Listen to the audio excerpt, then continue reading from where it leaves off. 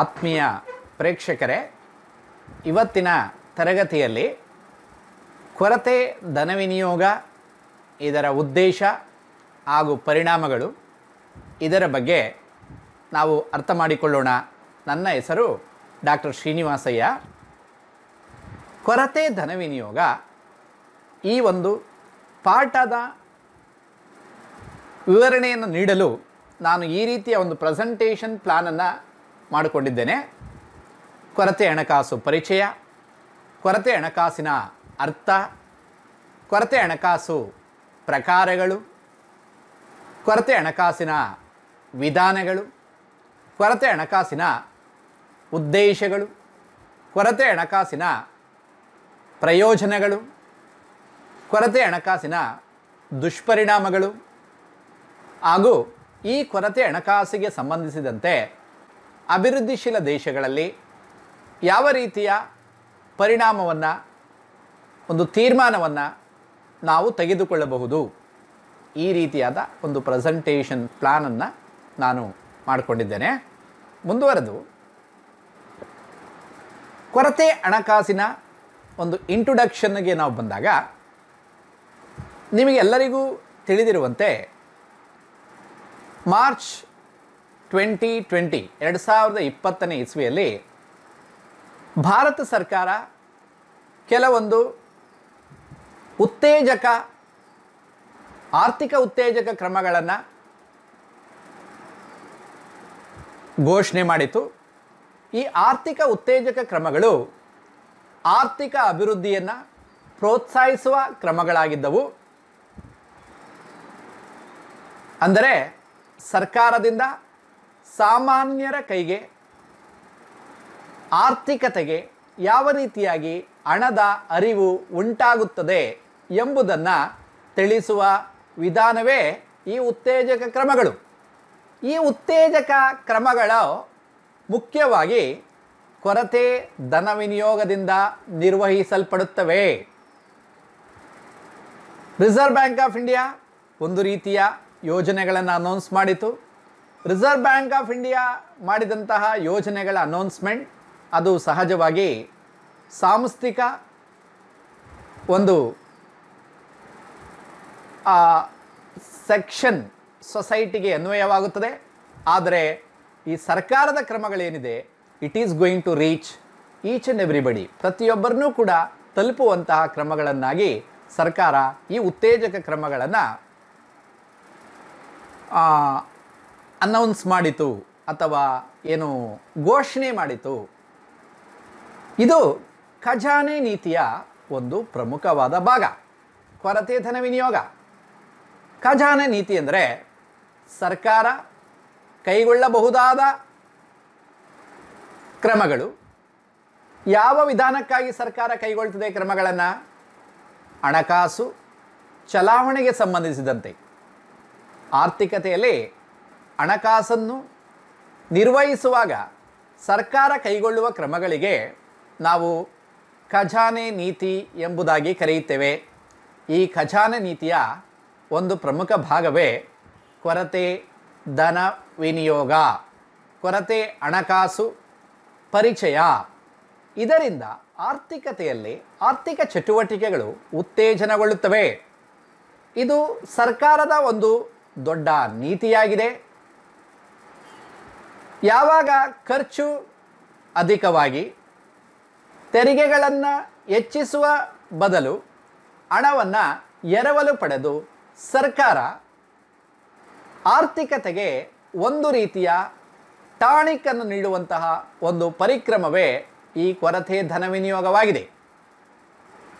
Budget ಕೊರತೆ ಇದ್ದಾಗ ಸಹಜವಾಗಿ ಖರ್ಚುಗಳು ಅಧಿಕವಾಗಿರ್ತವೆ. ಯಾವಾಗ ಈ ಖರ್ಚುಗಳು ಅಧಿಕ ಇರ್ತವೋ ಸಹಜವಾಗಿ ಸರ್ಕಾರ ಕೊರತೆ ಧನ ವಿನಿಯೋಗವನ್ನು ಪ್ರಯೋಗ ಮಾಡಿ ಆರ್ಥಿಕತೆಯನ್ನು ಪ್ರೋತ್ಸಾಹಿಸುವ ಕಾರ್ಯವನ್ನು ನಿರ್ವಹಿಸುತ್ತದೆ. ಸರ್ಕಾರದ ಖರ್ಚಿನಲ್ಲಿ ಹೆಚ್ಚಳ, ತೆರಿಗೆ ಆದಾಯದಲ್ಲಿ ಇಳಿಕೆ, ಆರ್ಥಿಕತೆಯನ್ನು ವಿಸ್ತರಿಸಲು ಪ್ರಾರಂಭವಾದಾಗ ಪರಿಣಾಮಕಾರಿ ಬೇಡಿಕೆ ಅಧಿಕವಾಗ್ತದೆ. ನಿರುದ್ಯೋಗ ಸಹಜವಾಗಿ ಕಡಿಮೆಯಾಗುತ್ತದೆ. ಇದರಿಂದ ತೆರಿಗೆ ಆದಾಯ ಹೆಚ್ಚಾಗುತ್ತದೆ. ವೆಚ್ಚಗಳು ಕಡಿಮೆಯಾಗುತ್ತದೆ. ಪರಿಣಾಮವಾಗಿ ಆರ್ಥಿಕ ವಿಸ್ತರಣೆ ಅಧಿಕವಾಗಲು ಕಾರಣವಾಗಿ ಎಲ್ಲ ಒಂದು ಪ್ರಚೋದಕ ಚಟುವಟಿಕೆಗಳು, ಎಲ್ಲ ಒಂದು ಉತ್ತೇಜಕ ಚಟುವಟಿಕೆಗಳು ಆರ್ಥಿಕತೆಯನ್ನು ಪ್ರೋತ್ಸಾಹಿಸಿ ಒಂದು ದೇಶವು ಅಭಿವೃದ್ಧಿಯಾಗಿ ತನ್ನ ಜಿ ಡಿ ಪಿ ಹೆಚ್ಚಳವಾಗಲು ಕಾರಣವಾಗುತ್ತದೆ. ಅಭಿವೃದ್ಧಿಶೀಲ ದೇಶಗಳಲ್ಲಿ ಕಲ್ಯಾಣ ರಾಜ್ಯ ಸ್ಥಾಪನೆ ಮಾಡಬೇಕಾಗ್ತದೆ. ಈ ಕಲ್ಯಾಣ ರಾಜ್ಯ ಸ್ಥಾಪನೆ ಮಾಡುವಾಗ ಈ ಒಂದು ಕೊರತೆ ಧನ ವಿನಿಯೋಗ ಅತ್ಯಂತ ಪ್ರಮುಖವಾದ ಪಾತ್ರವನ್ನು ನಿರ್ವಹಿಸುತ್ತದೆ. ಅಭಿವೃದ್ಧಿಶೀಲ ದೇಶಗಳಲ್ಲಿ ಮೂಲಭೂತ ಸೌಕರ್ಯಗಳ ವಿಸ್ತರಣೆ ಬೇಕಾಗಿರ್ತದೆ ಯೋಜಿತ ಆರ್ಥಿಕ ಅಭಿವೃದ್ಧಿ ಮಾಡಬೇಕಾಗಿರ್ತದೆ ಜನರ ಆದಾಯವನ್ನು ಹೆಚ್ಚಿಸಬೇಕಾಗಿರ್ತದೆ ಜೀವನಾಧಾರ ಮಟ್ಟ ಹೆಚ್ಚಿಸಬೇಕಾಗಿರ್ತದೆ ಬಡತನ ನಿರ್ವಹಣೆ ಮಾಡಬೇಕಾಗ್ತದೆ. ನಿರುದ್ಯೋಗವನ್ನು ಕಡಿಮೆ ಮಾಡಬೇಕಾಗ್ತದೆ. ವಸತಿ ಸೌಕ ವಸತಿ ವಸತಿ ಸೌಕರ್ಯವನ್ನು ಹೆಚ್ಚಿಸಬೇಕಾಗ್ತದೆ. ಕುಡಿಯುವ ನೀರನ್ನು ಕೊಡಬೇಕಾಗ್ತದೆ. ಇದೆಲ್ಲ ಕಾರ್ಯಕ್ರಮಗಳು ಕೂಡ ಕೊರತೆ ಧನ ವಿನಿಯೋಗದಿಂದ ಅತ್ಯಂತ ಪರಿಣಾಮಕಾರಿಯಾಗಿ ನಿರ್ವಹಿಸಿ ಆ ದೇಶವು ಉತ್ತಮವಾಗಿಸಲು ಇದು ಒಂದು ಖಜಾನ ನೀತಿಯಲ್ಲಿ ಕೈಗೊಳ್ಳಬಹುದಾದ ಒಂದು ಪ್ರಮುಖ ಕ್ರಮವೆಂದು ನಾವೆಲ್ಲರೂ ಕೂಡ ಭಾವಿಸಬಹುದು. ಈ ಪರಿಣಾಮದಿಂದ ಆ ದೇಶ ಅಂತಾರಾಷ್ಟ್ರೀಯ ಮಟ್ಟದಲ್ಲಿ ಒಂದು ಪ್ರಮುಖ ದೇಶವಾಗಲು ಕಾರಣವಾಗುತ್ತದೆ ಎಂಬುದಾಗಿ ಅಭಿಪ್ರಾಯ ಪಡಬಹುದು ಮುಂದುವರೆದು, ಈ ಕೊರತೆ ಹಣಕಾಸು ಅಂದರೇನು? ಕೊರತೆ ಹಣಕಾಸು ಎಂದರೆ ಆರ್ಥಿಕತೆಯಲ್ಲಿ ಹೊಸ ಹಣವನ್ನು ಪರಿಚಯಿಸುವ ವಿಧಾನ ಎಂದರ್ಥ. ಯಾವಾಗ ಸರ್ಕಾರ ತಾನು ಪಡೆಯುವ ಆದಾಯಕ್ಕಿಂತ ವೆಚ್ಚ ಅಧಿಕವಾಗುತ್ತದೆಯೋ ಸಹಜವಾಗಿ ಈ ಕೊರತೆ ಹಣಕಾಸಿನ ಕಾರಣ ಉಂಟಾಗುತ್ತದೆ. ಸಾಮಾನ್ಯವಾಗಿ ಬಡ್ಜೆಟ್ ಕೊರತೆಯನ್ನು ಪೂರೈಸಲು ಹೊಸ ಹಣವನ್ನು ಪ್ರಿಂಟ್ ಮಾಡಲಾಗುತ್ತದೆ. ಈ ಹೊಸ ಹಣವನ್ನು ಪ್ರಿಂಟ್ ಮಾಡುವ ಸಂದರ್ಭದಲ್ಲಿಯೂ ಕೂಡ ಕೆಲವಾರು ನಿಯಮಗಳನ್ನು ಅನುಸರಿಸಬೇಕಾಗುತ್ತದೆ. ಅಂತಾರಾಷ್ಟ್ರೀಯ ಮಟ್ಟದಲ್ಲಿ ಅಂತಾರಾಷ್ಟ್ರೀಯ ಹಣಕಾಸು ನಿಧಿಗೆ ಕೇಂದ್ರ ಬ್ಯಾಂಕುಗಳು ತನ್ನದೇ ಆದಂಥ ಅಂಕಿಅಂಶಗಳನ್ನು ನೀಡಬೇಕಾಗುತ್ತದೆ. ಹೊಸ ಹಣವನ್ನು ಪ್ರಿಂಟ್ ಮಾಡಿದಾಗ, ಪ್ರಿಂಟ್ ಮಾಡುವಾಗ ಸರ್ಕಾರವು ಕನಿಷ್ಠ ಮೀಸಲು ನಿಗದಿ ಆಧಾರದ ಮೇಲೆ ಕ್ರಮ ನಿರ್ವಹಿಸಬೇಕಾಗುತ್ತದೆ. ಅಲ್ಲಿ ಚಿನ್ನದ ನಿರ್ವಹಣೆ, ಇತರ ಸಾಲಪತ್ರಗಳ ನಿರ್ವಹಣೆಯನ್ನು ನಿರ್ವಹಿಸುವುದರ ಮೂಲಕ ಒಟ್ಟಾರೆ ರಾಷ್ಟ್ರೀಯ ಅಭಿವೃದ್ಧಿಯಲ್ಲಿ ಜಿ ಡಿ ಪಿಯ ಅಭಿವೃದ್ಧಿಯ ದರವನ್ನು ಪರಿಗಣನೆ ಮಾಡಿ ಆ ದರದ ಆಧಾರದ ಮೇಲೆ ಹೊಸ ಹಣವನ್ನು ಆರ್ಥಿಕತೆಗೆ ಪರಿಚಯಿಸಲಾಗುತ್ತದೆ. ಇಲ್ಲಿ ಒಟ್ಟು ಆದಾಯ ಮತ್ತು ಬಂಡವಾಳ ಖಾತೆಗಳ ನಡುವಣ ವ್ಯತ್ಯಾಸ, ಕೊರತೆ ಹಣಕಾಸು ಮೂಲಕ ರಾಷ್ಟ್ರೀಯ ವೆಚ್ಚವನ್ನು ಹೆಚ್ಚಿಸಿ ಆ ದೇಶದಲ್ಲಿ ಹಣಕಾಸಿನ ಅರಿವು ಉಂಟಾಗಿ ಸಹಜವಾಗಿ ಒಂದು ದೇಶ ಅಭಿವೃದ್ಧಿಯಾಗಲು ಪ್ರೋತ್ಸಾಹಿಸಲು ಕೈಗೊಳ್ಳಬಹುದಾದಂಥ ಒಂದು ಪ್ರಮುಖ ವಿಧಾನವೇ ಈ ಕೊರತೆ ಹಣಕಾಸು ಆಗಿದೆ. ಆದಾಯ ಮತ್ತು ಬಂಡವಾಳ ಖಾತೆಗಳ ನಡುವಣ ಸ್ವೀಕೃತಿಗಳು ಖರ್ಚು ಖಾತೆಯಿಂದ ಹೆಚ್ಚಾದಾಗ ಸಹಜವಾಗಿ ಈ ಒಂದು ಕೊರತೆ ಹಣಕಾಸು ಉದ್ಭವ ಆಗುತ್ತದೆ ಒಟ್ಟಾರೆಯಾಗಿ ನಾವು ಕೊರತೆ ಹಣಕಾಸಿನ ಅರ್ಥವನ್ನು ಹೇಳುವುದಾದರೆ ಕೊರತೆ ಹಣಕಾಸು ಎನ್ನುವುದು ಆರ್ಥಿಕತೆಗೆ ಹೊಸ ಹಣವನ್ನು ಪರಿಚಯಿಸುವುದರ ಮೂಲಕ ಆರ್ಥಿಕ ಚಟುವಟಿಕೆಗಳನ್ನು ಪ್ರೋತ್ಸಾಹಿಸಿ ಆರ್ಥಿಕತೆಯಲ್ಲಿ ಅಭಿವೃದ್ಧಿಯ ಒಂದು ಟಾನಿಕನ್ನು ನೀಡಿ ಆರ್ಥಿಕ ಅಭಿವೃದ್ಧಿ ಸಾಧಿಸಿ ಜಿ ಡಿ ಪಿ ವೃದ್ಧಿ ಜಿ ಡಿ ಪಿ ದರವನ್ನು ವೃದ್ಧಿಸಿ ಅಂತಾರಾಷ್ಟ್ರೀಯ ಮಟ್ಟದಲ್ಲಿ ಆ ದೇಶದ ಸ್ಥಾನಮಾನವನ್ನು ಹೆಚ್ಚಿಸುವ ಒಂದು ಕಾರ್ಯವಿಧಾನವಾಗಿದೆ. ಮುಂದುವರೆದು, ಈ ಕೊರತೆಯ ವಿಧಾ, ವಿಧಗಳು, ಈ ಕೊರತೆ ಯಾವ ಯಾವ ಕಾರಣಗಳಿಂದ ಉಂಟಾಗುತ್ತದೆ ಎಂಬುದನ್ನು ನಾವು ನೋಡಿದಾಗ ಬಡ್ಜೆಟ್ ಕೊರತೆ ಆಗಿರ್ಬೋದು ಬಡ್ಜೆಟ್ ಕೊರತೆಯಲ್ಲಿ ಒಟ್ಟು ಖರ್ಚು ಮತ್ತು ಆದಾಯಗಳಿಂದ ಉಂಟಾಗುವಂತಹ ವ್ಯತ್ಯಾಸಗಳು. ಆದಾಯಗಳು ಸೇ ಫಾರ್ ಎಕ್ಸಾಂಪಲ್ ನೂರು ಕೋಟಿಗಳಿರ್ತದೆ, ಖರ್ಚುಗಳು ನೂರ ಇಪ್ಪತ್ತು ಕೋಟಿ ಇರ್ತದೆ. ಆ ಒಂದು ಸಂದರ್ಭದಲ್ಲಿ ಆ ಇಪ್ಪತ್ತು hundred and twenty minus hundred crore ಯಾವಾಗ ಇಪ್ಪತ್ತು ಕೋಟಿ ರೂಪಾಯಿಗಳ ಆ ಒಂದು ಡಿಫ್ರೆನ್ಸ್ ಏನಿದೆ, ಆ ಇಪ್ಪತ್ತು ಕೋಟಿಗಳ ಡಿಫ್ರೆನ್ಸನ್ನು ಸರ್ಕಾರವು ಸಹಜವಾಗಿ ಈ ಕೊರತೆ ಧನ ವಿನಿಯೋಗದ ಮೂಲಕ ಹಾಗೂ ಇನ್ನಿತರ ಖಜಾನೆ ನೀತಿಯ ಮೂಲಕ ಅದನ್ನು ತುಂಬಿಸಿ ಆರ್ಥಿಕ ಅಭಿವೃದ್ಧಿಯನ್ನು ಪ್ರೋತ್ಸಾಹಿಸ ಪ್ರೋತ್ಸಾಹಿಸಬೇಕಾದಂಥ ಕರ್ತವ್ಯವನ್ನು ಮಾಡಬೇಕಾಗುತ್ತದೆ. ಆದಾಯದ ಕೊರತೆ. ಆದಾಯದ ಕೊರತೆ ಆದಾಯ ವೆಚ್ಚಗಳು ಹಾಗೂ ಆದಾಯದ ರಸೀದಿಗಳ ನಡುವಣ ವ್ಯತ್ಯಾಸದಿಂದ ನಾವು ಗುರುತಿಸಬಹುದು. ಅದೇ ರೀತಿಯಾಗಿ ಹಣಕಾಸಿನ ಕೊರತೆ. ಹಣಕಾಸಿನ ಕೊರತೆ ಎಂದರೆ ಒಟ್ಟು ಖರ್ಚುಗಳಿಂದ ಸಾಲಗಳನ್ನು ಹೊರತುಪಡಿಸಿ ಒಟ್ಟು ಉಂಟಾಗುವ ರಸೀದಿಗಳಿಂದ ನಾವು ಆ ಹಣಕಾಸಿನ ಕೊರತೆಯನ್ನು ಕಂಡುಕೊಳ್ಳಬಹುದು. ಪ್ರಾಥಮಿಕ ಕೊರತೆ ಅಂದರೆ ಹಣಕಾಸಿನ ಕೊರತೆ ಹಾಗೂ ಬಡ್ಡಿ ಪಾವತಿಗಳಿಂದ ಗಳ ವ್ಯತ್ಯಾಸದಿಂದ ನಾವು ಪ್ರಾಥಮಿಕ ಕೊರತೆಯನ್ನು ಗುರುತಿಸಬಹುದು. ಪರಿಣಾಮಕಾರಿ ಬೇಡಿಕೆ, ಆದಾಯದ ಕೊರತೆ ಆದಾಯದ ಕೊರತೆ ಮೈನಸ್ ಬಂಡವಾಳ ಸ್ವತ್ತುಗಳ ಸೃಷ್ಟಿಗೆ ನೀಡಲಾದಂತಹ ಅನುದಾನಗಳು ಇವುಗಳ ಆಧಾರದಲ್ಲಿ ಉಂಟಾಗುವಂತಹ ಕೊರತೆ. ಹಣಕಾಸು ಹಣಗಳಿಸಿದ ಹಣಕಾಸಿನ ಕೊರತೆ ಕೇಂದ್ರೀಯ ಬ್ಯಾಂಕಿನಿಂದ ಪಡೆಯುವ ಸಾಲದ ಆಧಾರದ ಮೂಲಕ ಹಣಗಳಿಸಿದ ಕೊರತೆಯ ಭಾಗವನ್ನು ನಾವು ಈ ನಿರ್ವಹಿಸಬೇಕಾಗುತ್ತದೆ. ಈ ರೀತಿಯಾಗಿ ವಿವಿಧ ರೂಪಗಳ ಮೂಲಕ ಈ ಕೊರತೆ ಉಂಟಾಗುತ್ತದೆ. ಉಂಟಾದಂತಹ ಈ ಕೊರತೆಯನ್ನು ಕೊರತೆ ಹಣಕಾಸು, ಕೊರತೆ ಧನ ವಿನಿಯೋಗದ ಮೂಲಕ ನಿರ್ವಹಿಸಲಾಗುತ್ತದೆ. ಈ ಕೊರತೆ ಹಣಕಾಸನ್ನು ನಿರ್ವಹಿಸುವ ವಿಧಾನಗಳು ಯಾವ್ಯಾವುದು? ಕೊರತೆ ಹಣಕಾಸನ್ನು ಯಾವ ಯಾವ ರೀತಿಯಾಗಿ ಸರ್ಕಾರ ನಿರ್ವಹಿಸುತ್ತದೆ? ನಾವು ಈಗಾಗಲೇ ಅರ್ಥ ಮಾಡಿಕೊಂಡಂತೆ ಕೊರತೆ ಹಣಕಾಸು ಖಜಾನೆ ನೀತಿಯ ಒಂದು ಪ್ರಮುಖವಾದಂತಹ ಭಾಗವಾಗಿದೆ. ಈ ಖಜಾನೆ ನೀತಿಯಲ್ಲಿ ಕೊರತೆ ಹಣಕಾಸನ್ನು ನಿರ್ವಹಿಸಲಾಗುತ್ತದೆ. ಈ ಖಜಾನೆ ನೀತಿಯಲ್ಲಿ ಸರ್ಕಾರ ಕೊರತೆ ಹಣಕಾಸನ್ನು ನಿರ್ವಹಿಸುವ ಸಂದರ್ಭದಲ್ಲಿ ಈ ಕೆಳಕಂಡ ವಿಧಾನಗಳನ್ನು ಅನುಸರಿಸಬಹುದು. ಹೊಸ ಕರೆನ್ಸಿಯನ್ನು ನೀಡುವಂತಹದ್ದು. ಹೊಸ ಕರೆನ್ಸಿಯನ್ನು ಪ್ರಿಂಟ್ ಮಾಡುವ ಸಂದರ್ಭದಲ್ಲಿ ಈಗಾಗಲೇ ಕನಿಷ್ಠ ಮೀಸಲು ಆ, ಪದ್ಧತಿ ಆಧಾರದ ಮೇಲೆ ಹಣವನ್ನು ಪ್ರಿಂಟ್ ಮಾಡಲಾಗುತ್ತದೆ. ಕನಿಷ್ಠ ಮೀಸಲು ಪದ್ಧತಿಯ ಆಧಾರದ ಮೇಲೆ ಹಣ ಪ್ರಿಂಟ್ ಮಾಡುವುದರಿಂದ ಸಹಜವಾಗಿ ಆರ್ಥಿಕತೆಯಲ್ಲಿ ಒಂದು ಸುಭ ಭದ್ರತೆಯನ್ನು ಒದಗಿಸುವುದರ ಮೂಲಕ ಒಂದು ಸ್ಥಿರತೆಯನ್ನು ಕಾಪಾಡಿಕೊಂಡು ಆ ದೇಶದ ಕೇಂದ್ರ ಬ್ಯಾಂಕು ಕೇಂದ್ರ ಬ್ಯಾಂಕಿನ ಸಹಕಾರದೊಂದಿಗೆ ಸರ್ಕಾರಗಳು ನಿರ್ವ ತನ್ನ ಕಾರ್ಯವನ್ನು ನಿರ್ವಹಿಸಿ ನಿರ್ವಹಿಸಿ ಜನರಿಗೆ ಆ ಎಲ್ಲ ಯೋಜನೆಗಳು ತಲುಪುವಂತೆ ಆಗಿ ಆರ್ಥಿಕ ಚಟುವಟಿಕೆಗಳು ಉತ್ತೇಜನವಾಗುವಂತೆ ಮಾಡುತ್ತದೆ. ವಿದೇಶಿ ಸಾಲ ಪ್ರಮಾಣದಲ್ಲಿ ಹೆಚ್ಚಳ. ವಿದೇಶಗಳಿಂದ ಸರ್ಕಾರಗಳು ಸಾಲವನ್ನು ಪಡೆಯುತ್ತದೆ. ವಿದೇಶಗಳಲ್ಲಿ ಮುಖ್ಯವಾಗಿ ಆ ವಿದೇಶಿ ಸಂಘ ಸಂಸ್ಥೆಗಳಿಂದ, ವಿದೇಶಿ ಅಂತಾರಾಷ್ಟ್ರೀಯ ಸಂಸ್ಥೆಗಳಿಂದ, ವಿದೇಶಿ ಸರ್ಕಾರಗಳಿಂದ ಸರ್ಕಾರ ಹಣವನ್ನು ಪಡೆಯುವುದರ ಮೂಲಕ ನಮ್ಮ ದೇಶದಲ್ಲಿ ಹಣದ ಅರಿವಿನ ಪ್ರಮಾಣವನ್ನು ಹೆಚ್ಚಳ ಮಾಡುವಂತಹದ್ದು. ಅದೇ ರೀತಿಯಾಗಿ ಚಾಲ್ತಿ ಖಾತೆ ಸಮತೋಲನವನ್ನು ಕಡಿಮೆ ಮಾಡಲು ಖಜಾನೆ ಭದ್ರತೆಗಳು ಹಾಗೂ ಅಂತಹುದೇ ಸಾಲ, ಅಂತಹದೇ ಸಾಲಗಳನ್ನು, ಸಾಧನಗಳನ್ನು ಬಳಕೆ ಮಾಡಿ ಏನು ಈ ಒಂದು ಕೊರತೆ ಧನ ವಿನಿಯೋಗವನ್ನು ಮಾಡಬಹುದು. ಅಂದರೆ ಟ್ರೆಜರಿ ಬಿಲ್ಸ್ಗಳನ್ನು ಹಡವಿಡುವುದರ ಮೂಲಕ ಅವುಗಳನ್ನು ಅವುಗಳಿಂದ ಪಡೆದಂಥ ಹಣವನ್ನು ಆರ್ಥಿಕತೆಗೆ ಪರಿಚಯಿಸಿ ಸಹಜವಾಗಿ ಆರ್ಥಿಕ ಅಭಿವೃದ್ಧಿಗೆ ಪ್ರೋತ್ಸಾಹಿಸಲು, ಆರ್ಥಿಕ ಚಟುವಟಿಕೆಗಳು ವಿಸ್ತಾರಗೊಳ್ಳಲು ಸಹಕಾರ ಮಾಡಬಹುದು.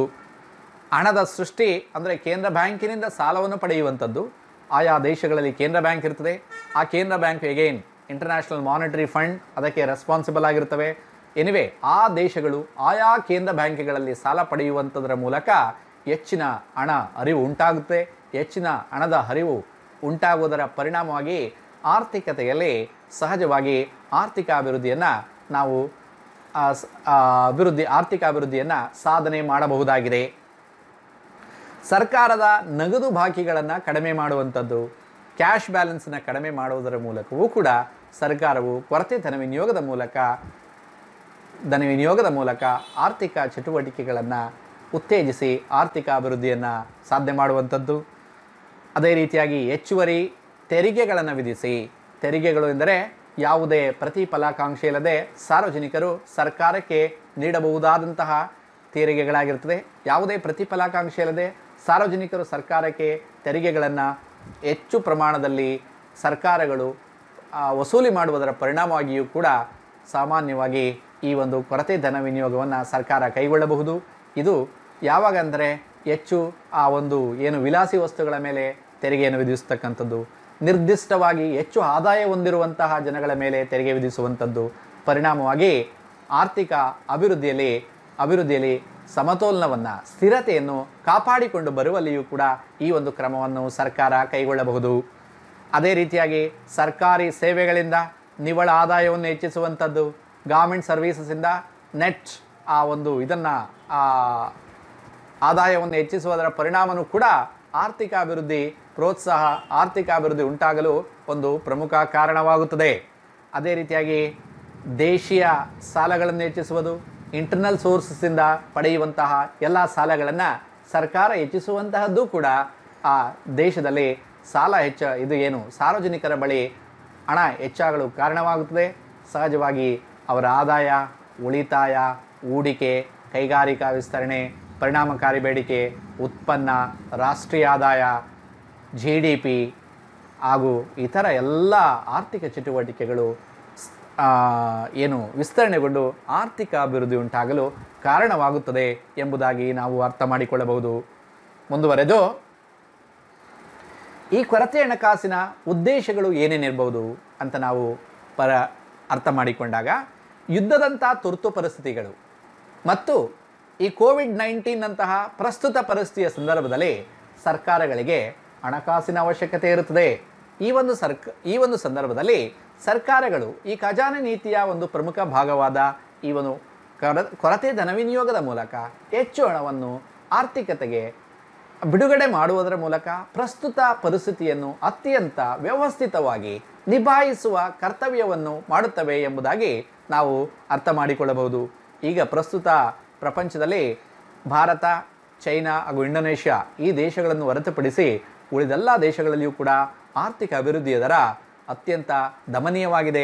ಇಂಥ ಪರಿಸ್ಥಿತಿಯಲ್ಲಿ ಆ ದೇಶಗಳು ಕೊರತೆ ಧನವಿನಿಯೋಗದ ಮೂಲಕ ಆ ದೇಶದ ಆರ್ಥಿಕ ಚಟುವಟಿಕೆಗಳಿಗೆ ತಾಣಿಕನ್ನು ನೀಡುವಂಥ ಕಾರ್ಯವನ್ನು ನಿರ್ವಹಿಸಿದಾಗ ಆರ್ಥಿಕ ಸ್ಥಿರತೆಯನ್ನು, ಜನರಲ್ಲಿ ಕೊಂಡುಕೊಳ್ಳುವ ಶಕ್ತಿಯನ್ನು ಅಭಿವೃದ್ಧಿ ಮಾಡಬಹುದಾಗಿದೆ.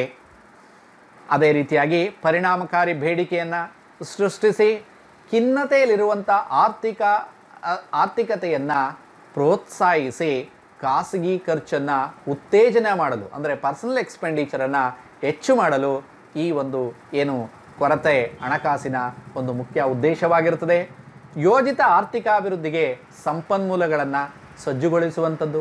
ಯಾವುದೇ ದೇಶದಲ್ಲಿ ಒಂದು ಸಂಪನ್ಮೂಲಗಳು ಯೋಜಿತ ಆರ್ಥಿಕ ಅಭಿವೃದ್ಧಿಗೆ ಬೇಕಾಗ್ತದೆ. ಈ ಸಂಪನ್ಮೂಲಗಳು ಬೇಕಾದಂಥ ಸಂದರ್ಭದಲ್ಲಿ ಆ ತೆರಿಗೆ, ಆ ಮೂಲಗಳು ಸಾಕಾಗೋದಿಲ್ಲ. ಆ ಸಂದರ್ಭದಲ್ಲಿ ಆ ಸಂದರ್ಭದಲ್ಲಿ ಈ ಒಂದು ಪ್ಲಾನ್ ಏನು ಡೆಫಿಸಿಟ್ ಫೈನಾನ್ಸಿಂಗ್ ಎಂತಕ್ಕಂತಹ ಮೂಲಗಳಿಂದ ಪಡೆದಂತಹ ಪಡೆದಂತಹ ಮೂಲಗಳು ಏನು ಆದಾಯದ ಮೂಲಗಳು ಆ ದೇಶದ ಆರ್ಥಿಕ ಅಭಿವೃದ್ಧಿಯನ್ನು ಸ್ಟಿಮ್ಯುಲೇಟ್ ಮಾಡ್ತವೆ, ಪ್ರೇರೇಪಣೆಗೊಳ್ಳುವಂತೆ ಮಾಡ್ತವೆ. ಅದೇ ರೀತಿಯಾಗಿ ಉದ್ಯೋಗಾವಕಾಶಗಳನ್ನು ಸೃಷ್ಟಿಸುವಂತಹದ್ದು ಒಂದು ದೇಶದಲ್ಲಿ ಸಾಮಾನ್ಯವಾಗಿ ಉದ್ಯೋಗಾವಕಾಶಗಳನ್ನು ಸೃಷ್ಟಿಸುವಂಥದ್ದು ಎಲ್ಲ ರಾಷ್ಟ್ರಗಳ ಗೌರ್ನಮೆಂಟ್ಗಳಿಗೆ, ಸರ್ಕಾರಗಳಿಗೆ ಅತ್ಯಂತ ಒಂದು ಚಾಲೆಂಜಿಂಗ್ ವಿಷಯವಾಗಿರುತ್ತದೆ. ಉದ್ಯೋಗಾವಕಾಶಗಳನ್ನು ಸೃಷ್ಟಿಸುವುದು ಅಂದರೆ ಏನು? ಹೆಚ್ಚು ಹೆಚ್ಚು ಪ್ರಮಾಣದಲ್ಲಿ ಹೂಡಿಕೆ ಬರಬೇಕು. ಹೆಚ್ಚು ಹೆಚ್ಚು ಪ್ರಮಾಣದಲ್ಲಿ ಹೂಡಿಕೆ ಬರಬೇಕು ಅಂದರೆ ಏನು ಮಾಡಬೇಕು? ಸರ್ಕಾರದ ನೀತಿಗಳು ಒಂದು ಫ್ಲೆಕ್ಸಿಬಲ್ ಆಗಿರಬೇಕು ಹೂಡಿಕೆದಾರರಿಗೆ. ಸರ್ಕಾರದ ನೀತಿಗಳು ಫ್ಲೆಕ್ಸಿಬಲ್ ಆಗಿದ್ದಾಗ ಹೂಡಿಕೆದಾರರಿಗೆ ಸಹಜವಾಗಿ ಆ ಒಂದು ಏನು ಆರ್ಥಿಕ ಚಟುವಟಿಕೆ ಆರ್ಥಿಕ ಚಟುವಟಿಕೆ, ದರ, ಚಟುವಟಿಕೆ ಅತ್ಯಂತ ಅತ್ಯಂತ ವಿಸ್ತಾರವಾಗಿ ಬೆಳೆಯುತ್ತಾ ಹೋಗುತ್ತದೆ. ಈ ಒಂದು ಪರಿಸ್ಥಿತಿಯಲ್ಲಿ ಆರ್ಥಿಕ ಚಟುವಟಿಕೆಗಳು ಅತ್ಯಂತ ಹೆಚ್ಚು ಪ್ರಮಾಣದಲ್ಲಿ ವಿಸ್ತಾರವಾಗಿ ಬೆಳೆಯಲು ಇವು ಅತ್ಯಂತ ಪ್ರಮುಖವಾದ ಪಾತ್ರವನ್ನು ನಿರ್ವಹಿಸುತ್ತವೆ ಎಂಬುದಾಗಿ ಹೇಳಬಹುದು. ಯಾವಾಗ ಒಂದು ದೇಶದಲ್ಲಿ ಬಡ್ಡಿಯ ದರ ಕಡಿಮೆ ಇರ್ತದೆಯೋ, ಉದ್ಯಮಿಗಳು ಮುಂದೆ ಬರ್ತಾರೆ, ಸಾಲ ತೆಗೆದುಕೊಳ್ಳಲು. ಯಾವಾಗ ಉದ್ಯಮಿಗಳು ಮುಂದೆ ಬರ್ತಾರೆಯೋ, ಸಹಜವಾಗಿ ಉದ್ಯೋಗ ಇದು ಏನು? ಕೈಗಾರಿಕಾ ವಿಸ್ತರಣೆ ಆಗ್ತದೆ. ಯಾವಾಗ ಕೈಗಾರಿಕಾ ವಿಸ್ತರಣೆ ಆಗುತ್ತದೆಯೋ, ಸಹಜವಾಗಿ ಉದ್ಯೋಗಾವಕಾಶಗಳು ಸೃಷ್ಟಿಯಾಗ್ತದೆ. ಯಾವಾಗ ಸಹಜವಾಗಿ ಉದ್ಯೋಗಾವಕಾಶಗಳು ಸೃಷ್ಟಿಯಾಗ್ತದೆಯೋ, ಸಹಜವಾಗಿ ಜನರಿಗೆ ಒಂದು ಆದಾಯ ಅಧಿಕವಾಗ್ತದೆ, ಜೀವನ ಮಟ್ಟ ಅಧಿಕವಾಗ್ತದೆ. ಈ ರೀತಿ ಎಲ್ಲ ಆರ್ಥಿಕ ಚಟುವಟಿಕೆಗಳು ಏನು ವಿಸ್ತರಣೆಯಾಗುತ್ತಾ ಹೋಗುತ್ತದೆ. ಬಡತನವನ್ನು ಕಡಿಮೆ ಮಾಡುವಂಥದ್ದು, ಬಡತನ ಅಂತಕ್ಕಂಥದ್ದು ಒಂದು ದೇ ಎಲ್ಲ ದೇಶಗಳಿಗೆ ಒಂದು ರೀತಿಯ ಚಾಲೆಂಜ್ ಆಗಿರ್ತದೆ, ಸವಾಲೇ ಆಗಿರ್ತದೆ. ಈ ಸವಾಲನ್ನು, ಈ ಬಡತನವನ್ನು ಕನಿಷ್ಠ ಮೂಲಭೂತ, ಕನಿಷ್ಠ ಬೇಸಿಕ್ ನೆಸೆಸಿಟೀಸ್ ಮೂಲ ಜೀವನಾವಶ್ಯಕ ವಸ್ತುಗಳನ್ನು ಪಡೆಯುವ ಮಟ್ಟಿಗೆ ಸರ್ಕಾರಗಳು ಈ ಒಂದು ಕೊರತೆ ಧನವಿನಿಯೋಗದ ಮೂಲಕ ಅತ್ಯಂತ ವ್ಯವಸ್ಥಿತವಾಗಿ ನಿರ್ವಹಿಸಿ ಆ ದೇಶದ ಆರ್ಥಿಕ ಅಭಿವೃದ್ಧಿಯನ್ನು ಪ್ರೋತ್ಸಾಹಿಸಲು ಈ ಒಂದು ವೆಪನ್ನಾಗಿ ಒಂದು ಒಂದು ಸಾಧನವಾಗಿ ಕೊರತೆ ಧನ ವಿನಿಯೋಗವನ್ನು ಬಳಸಿಕೊಳ್ಳುತ್ತವೆ. ದೇಶದ ಮೂಲ ಸೌಕರ್ಯವನ್ನು ನವೀಕರಿಸಲು. ಮೂಲ ಸೌಕರ್ಯ ಅಂತಂದರೆ ಇನ್ಫ್ರಾಸ್ಟ್ರಕ್ಚರ್ ಇನ್ಫ್ರಾಸ್ಟ್ರಕ್ಚರ್ ಕೈಗಾರಿಕೆಗಳಿಗೆ ಬೇಕು, ಕೃಷಿಗೆ ಬೇಕು ಇನ್ಫ್ರಾಸ್ಟ್ರಕ್ಚರ್ ಸೇವಾ ವಲಯಕ್ಕೆ ಬೇಕು. ಈ ಒಂದು ಮೂಲ ಸೌಕರ್ಯವಿದ್ದರೆ ಆ ದೇಶದ ಆರ್ಥಿಕ ಚಟುವಟಿಕೆಗಳು ವಿಸ್ತಾರವಾಗಲು ಕಾರಣವಾಗುವಂಥದ್ದು. ಪರಿಣಾಮವಾಗಿ ಕೊರತೆ ಧನ ವಿನಿಯೋಗದಿಂದ ಈ ಒಂದು ಚಟುವಟಿಕೆಗಳನ್ನು ಅತ್ಯಂತ ಹೆಚ್ಚು ಪ್ರಮಾಣದಲ್ಲಿ ಸರ್ಕಾರಗಳು ನಿರ್ವಹಿಸುವುದರ ಪರಿಣಾಮವಾಗಿ ಒಂದು ದೇಶದ ಆರ್ಥಿಕ ಅಭಿವೃದ್ಧಿಯಾಗಲು ಸಹಜವಾಗಿ ಕಾರಣವಾಗುತ್ತದೆ. ಕೊರತೆ ಹಣಕಾಸಿನ ಉಪಯೋಗಗಳು. ಕೊರತೆ ಹಣಕಾಸು ಯಾವ ಯಾವ ಉಪಯೋಗಗಳನ್ನು ಹೊಂದಿದೆ ಎಂಬುದಾಗಿ ನಾವು ನೋಡಿದಾಗ ಪರಿಣಾಮಕಾರಿ ಬೇಡಿಕೆಯ ಸೃಷ್ಟಿ ಮಾಡ್ಬೋದು. ಕೊರತೆ ಹಣಕಾಸಿನಿಂದ ಆದಾಯ, ಉದ್ಯೋಗ ಮತ್ತು ಉತ್ಪಾದನೆಯ ಮಟ್ಟದಲ್ಲಿ ಹೆಚ್ಚಳ ಮಾಡ್ಬೋದು. ಬಡತನದಲ್ಲಿ ಕಡಿತ ಉಂಟು ಮಾಡಬಹುದು. ಹಣದ ಅರಿವಿನಲ್ಲಿ ಹೆಚ್ಚಳ ಉಂಟಾಗ್ತದೆ. ಹಣದುಬ್ಬರವನ್ನು ಕರೆಕ್ಟಾಗಿ ನಿರ್ವಹಿಸಬಹುದು. ಮೂಲ ಸೌಕರ್ಯವನ್ನು ಸೃಷ್ಟಿ ಮಾಡಬಹುದು. ಕಲ್ಯಾಣ ರಾಜ್ಯ ಪರಿಕಲ್ಪನೆಯನ್ನು ಹುಟ್ಟಾಕ್ಬೋದು.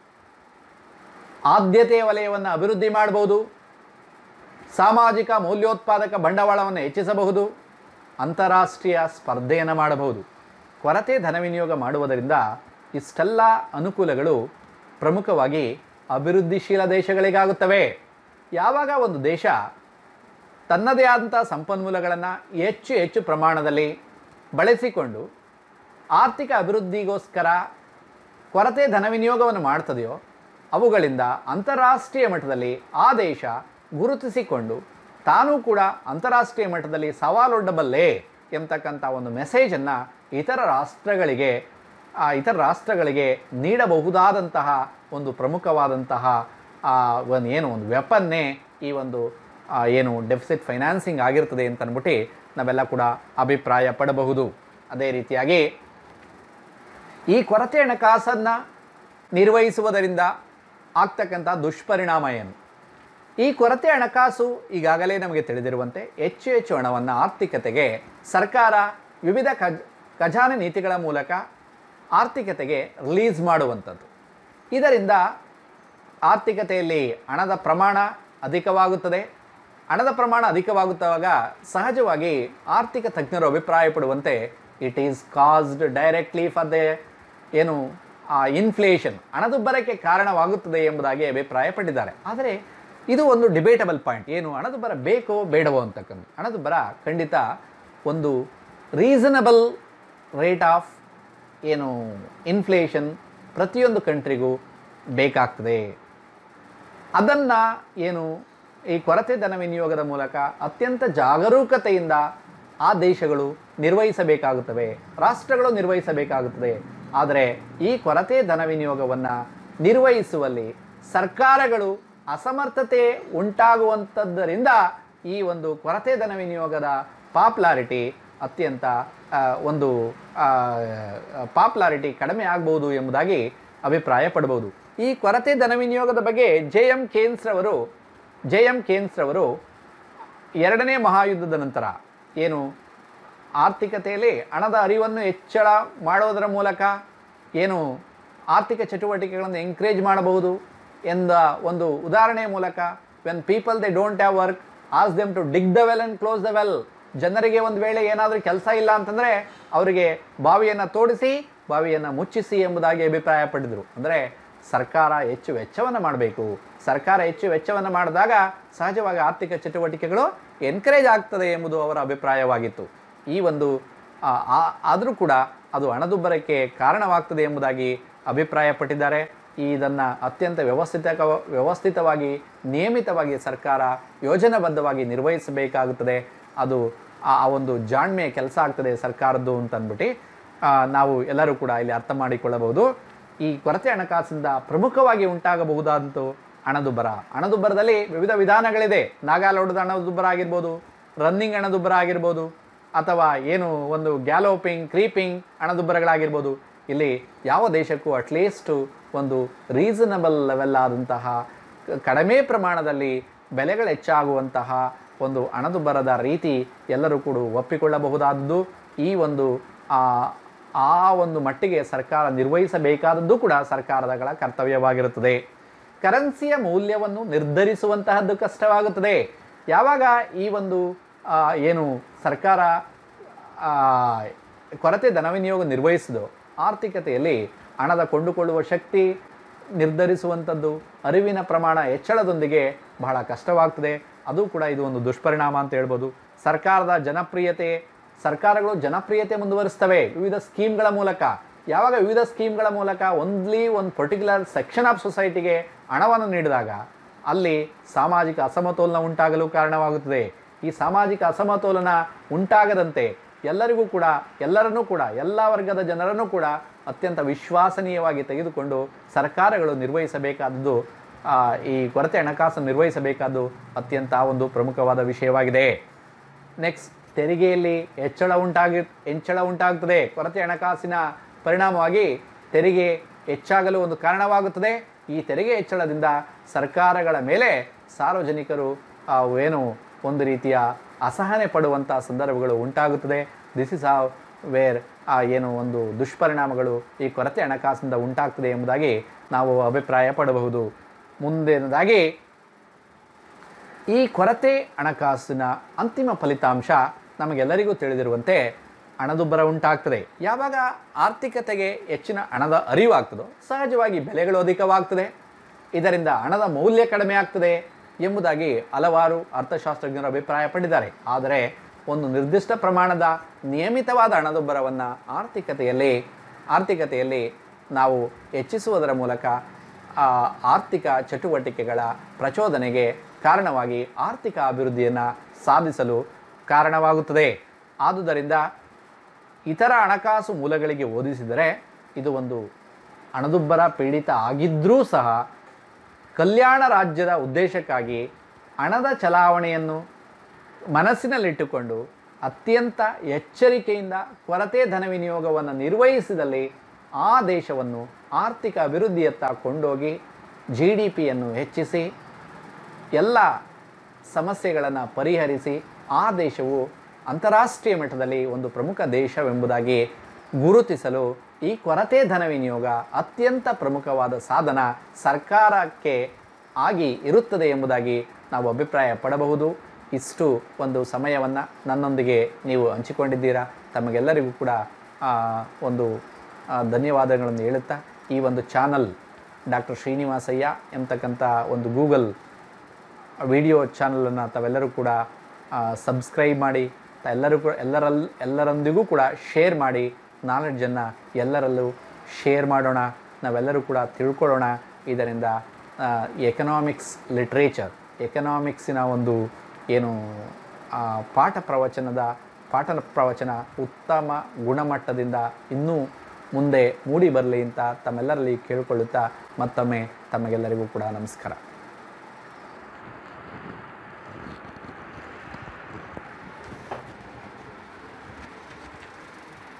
ಬಾಬಾ!